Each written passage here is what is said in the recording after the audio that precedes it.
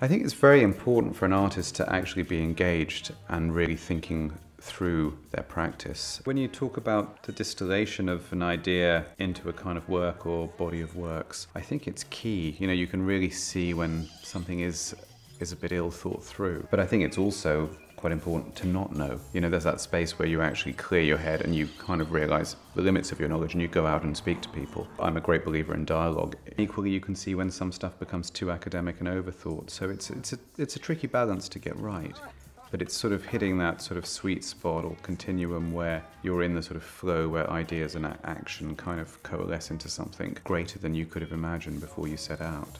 With you know my most recent and hence most ambitious project Leviathan. That was a good two years from inception to exhibition in Venice recently. I mean, that was the most ambitious project yet because there were so many moving parts. I couldn't even tell you at what point that moved from idea to action because it was constantly doing so. So the whole project was trying to wed the kind of seemingly disparate disciplines of marine conservation, migration, and mental health issues within our ecosystem and use the ecosystem as a way to kind of hold all those three ideas in one container. But that took years of just literally meeting with oceanographers, marine biologists, migrant rights activists, trauma specialists to start to get a sense of what those connections were. For example, the project consists of, a, of painting, sculpture, a cycle of films. The first two of a cycle of 10 were presented at Venice, so it's a it's intended as a 10 episode cycle running till 2020 with various institutions to come.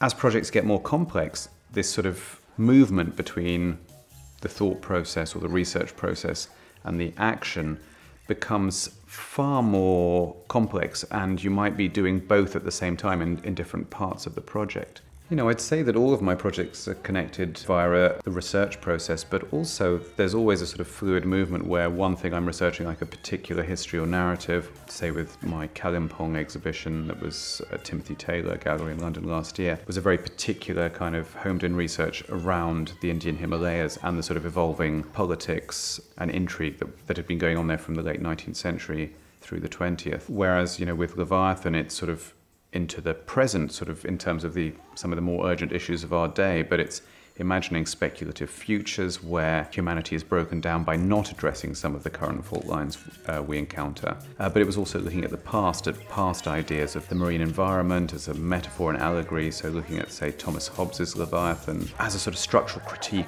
of the functioning of state politics. So I'm always, I think, playing across histories, past, present, and future. I think that's the role of the artist it's to mine the past in order to kind of explore the future.